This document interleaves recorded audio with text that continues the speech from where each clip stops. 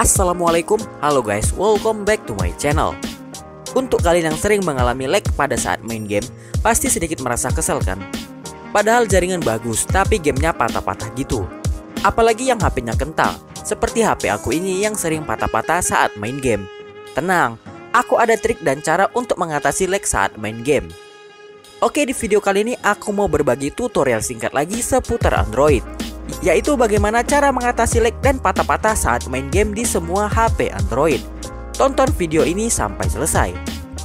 Oke, tapi seperti biasanya sebelum kita lanjut jangan lupa tekan tombol subscribe-nya ya agar channel ini tetap bisa memberikan informasi yang bermanfaat untuk kalian. Oke, kita lanjut. Nah, untuk cara mengatasi lag dan patah-patah di HP Android, di sini kita membutuhkan satu aplikasi khusus yang namanya Game Booster 4 kali Faster Free.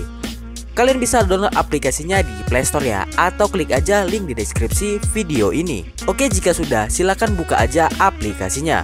Oke, kemudian di sini kalian klik aja Start.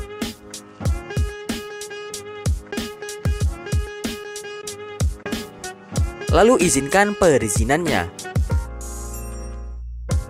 Nah tampilannya akan seperti ini ya. Oke untuk pertama kali kalian bisa klik pengaturan ini. Jangan lupa RAM boosternya itu sudah tercentang seperti ini ya. Lalu kembali. Kemudian di sini kalian bisa klik boost. Nah gunanya di sini untuk men-scan semua aplikasi yang ada di HP kita agar penggunaannya itu lebih ringan ya dan juga hemat RAM. Oke, jika sudah, silakan kembali. Kemudian klik Ultra Boost-nya. Lalu di sini kalian bisa aktifkan Ultra Boost-nya. Nah, untuk mengaktifkan fitur ini, kita diharuskan menonton iklan karena ini premium ya. Jadi tonton aja iklannya. Jika sudah, langsung saja kembali. Nah, kemudian kita akan mengatur untuk resolusi pada gamenya. Jadi kalian bisa klik yang GFX tool ini ya. Nah untuk resolusi ini itu nggak bisa sembarangan setting.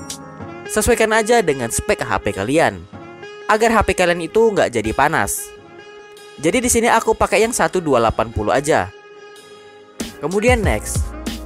Nah untuk FPS pasti yang standar-standar aja ya Jadi pakai yang 30 FPS aja Biar gamenya itu nanti lancar jaya Untuk grafik ini pakai yang pertengahan aja Jadi pilih HD lalu next. Dan selesai ya. Oke, kemudian kembali lagi. Kemudian di sini kalian bisa tambahkan game yang kalian mainkan.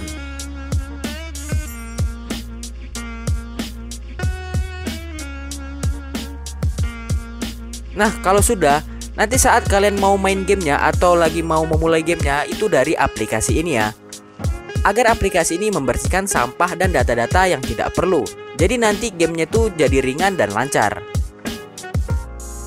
Nah kalian bisa mainkan game kalian dengan tanpa adanya lag dan patah-patah lagi. Dan auto lancar jaya. Oke seperti itulah cara mengatasi lag dan patah-patah saat main game di HP Android.